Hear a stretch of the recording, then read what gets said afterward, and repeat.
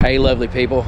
Okay, welcome back to the lovely place. And no, we are not at the lovely place, but we are at a very special place, a place that I really like to come to. It's the salvage place. It's the iron and metal salvage junkyard, scrap yard, whatever you want to call it. But I have been in there and I found a couple very special things that I'm excited to show you. Let's go in together. A friend of mine told me about this place a couple years ago and I've been back and forth and I bought a few things. They just loaded on my trailer something I specifically came down here for. So as you know, we've got a couple of wood stoves. We're gonna be installing them in, or one of them in the pole barn. Well, my wife came across, that would be Mrs. Lovely, she came across a uh, picture or two of a steel box that the the wood stove can set on top of and you can store you know wood corded wood in in that steel box so you just pull that wood out put it in your fire your wood burning stove well i said I, if i go over there to the scrapyard i'm sure i will find some kind of steel box and I'll show you what I found. I found the perfect steel box. It happens to be a 350 pound steel safe. And we'll see if we'll be able to crack this safe and get into it. They did give me a key and a combo, so let's hope it works. I tried it a couple times in the in the building there and I, I couldn't make it budge, but uh, I'll get it home. We'll see what we can do with it. There's the big safe. Look at this massive safe got a door and a lock. Hopefully we can get that door open.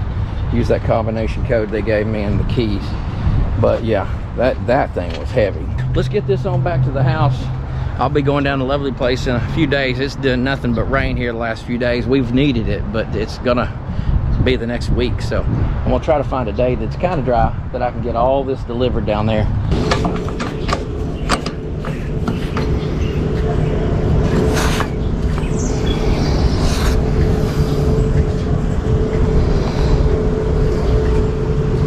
After a couple of hours of setting out here doing everything I could think of to this combination and then finally picking up a sledgehammer and when it gets back to the point where the combination starts to stop after you put in the last number just start beating on or tapping on every part of that door so that I can jolt that mechanism free and check out what has happened.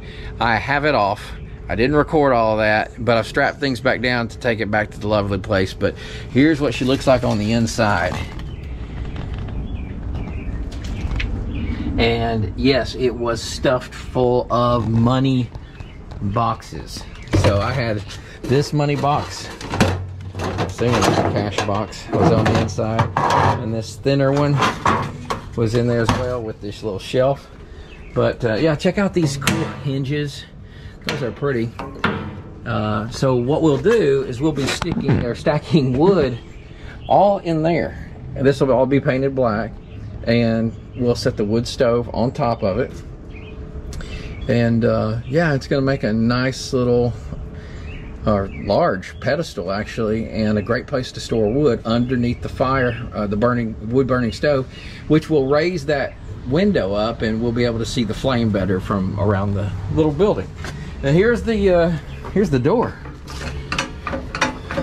This thing weighs a ton. Look how that's I'd say that's a half inch. Yep, that's a half inch steel right there. This is a solid door, heavy as lead. Really nice quality. It's a shame I'm not using it as a safe because it works. Well, we got a lot to do and uh, it's gonna be fun doing it. But we've strapped this thing down. We're gonna take it to the lovely place and unload it.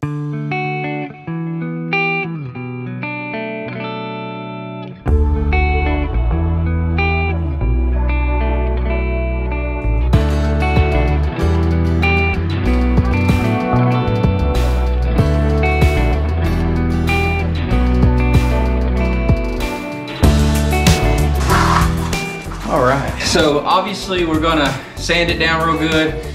We're gonna spray paint it uh, a black high heat, what 1200 degree paint, I think 1200 minimum, and uh, a, a matte black. And then we're going to be putting one of our wood burning stoves on top of it, one of the Ashley Hearth uh, US Stove Company stoves that's in a previous video that I was trying to pick between. You'll see before too long which one we're gonna be picking. And uh, under here, we're going to be storing wood.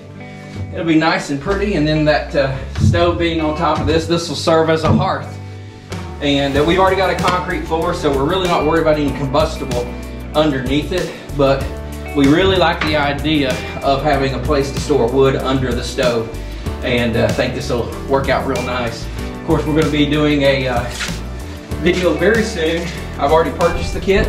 Should be picking it up any day, where up here, in fact, I'll just show you, we just bought a Duravent through the wall kit and uh, I believe we're going to be taking it out right up there.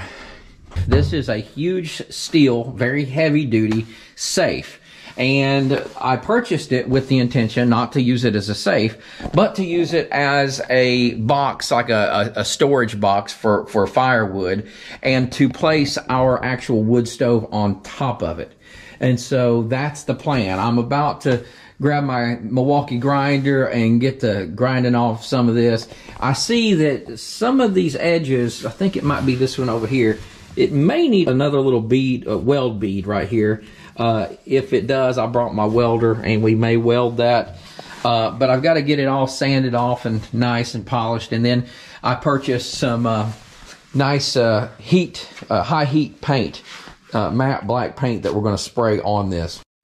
This little mark right here is where this is the width of the actual uh, wood stove itself. All right, let's get the grinder out and let's get the grinding. See what we get out of this.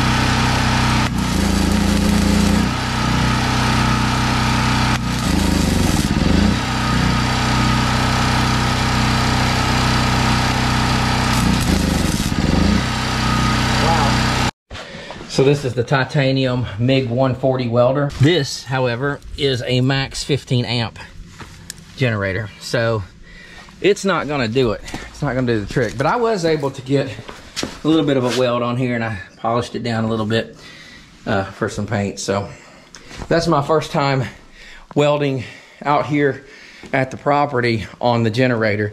Uh, and it's only my second time ever welding at all, period.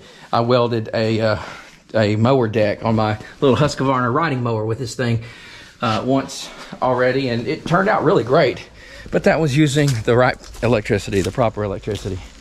All right, let's move forward. We're gonna paint it next. I wanted to show you some paint that I purchased that's high heat paint. It's the Rust-Oleum high heat tough protective enamel. Uh, it says renews grills, wood stoves, and more. And it's got this color of cap on here that looks nice and flat black, but I'm not sure how well you can tell. I'll put the cap beside the painted surface. That This is the bottom of this steel box.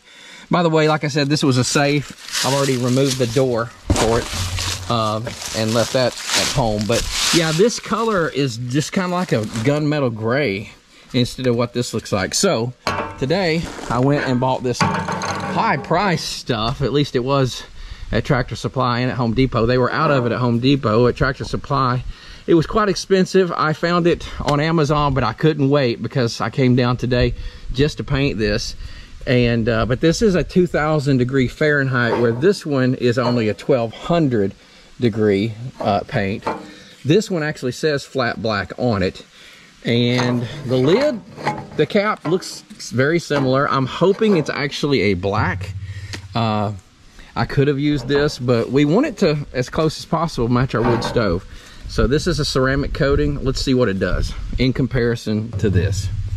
All right, so I'm gonna put a little bit on here. This is the bottom, like I said. So I'm just gonna look and see if it looks different in color. Very windy out here today.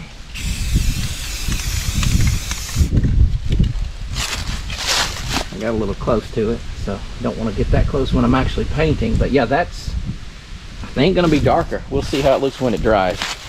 But I'm gonna use this less expensive product for the inside of this. That heat, 1200 degrees, should be just fine. Uh, so I'll use it for the inside and the back since I've got a can and a half of it. And this expensive stuff, I will use for the top and the sides. As this is drying, there's a little bit still left that's not fully dry, but it's blending in and it's looking just like the, the previous color. I just don't see a difference.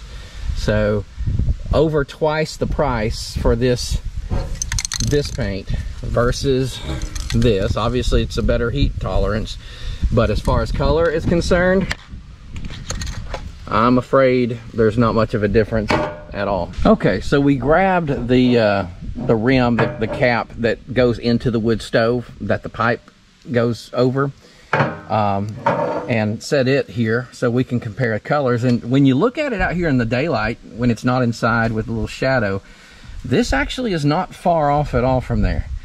So we're gonna go with it. I have a feeling that if you use too dark of a black, and it's just gonna be maybe darker than the stove. And of course this does match the stove. So uh, I believe we'll be good to go. So I'm hoping, I bought two cans of this stuff. I'm hoping I can get away with just using the one can and the can and a half that I have left of the cheaper stuff and I'll I'll return that one can for for a refund. I paid way too much for it at Tractor Supply compared to Amazon. So yeah, I'll return that.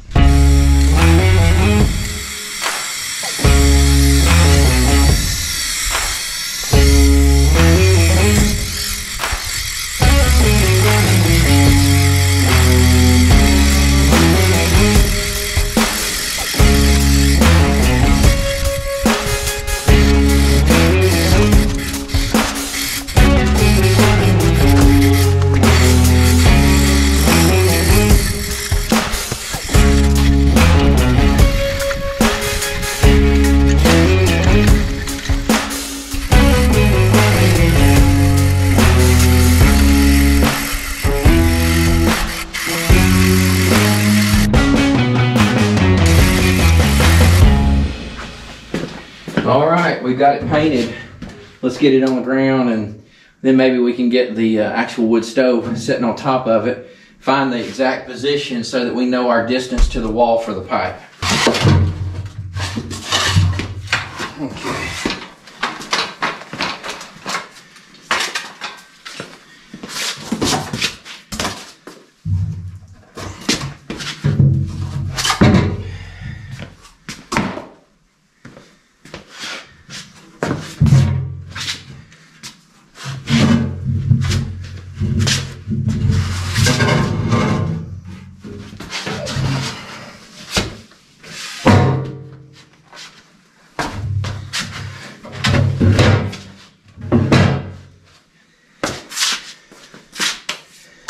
That's close. That's gonna look good.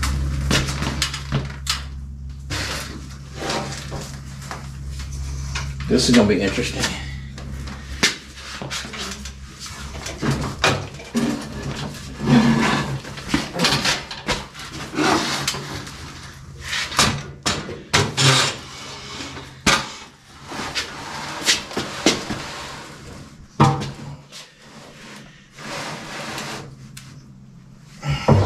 There she is. It is this high to me. This is pretty cool. Very unique. It's different. What do y'all think? Do you like it? Let me back up and let you see it. Imagine all the wood in the box down here. Yes, it is in the center of the window. It was not planned out very well, was it?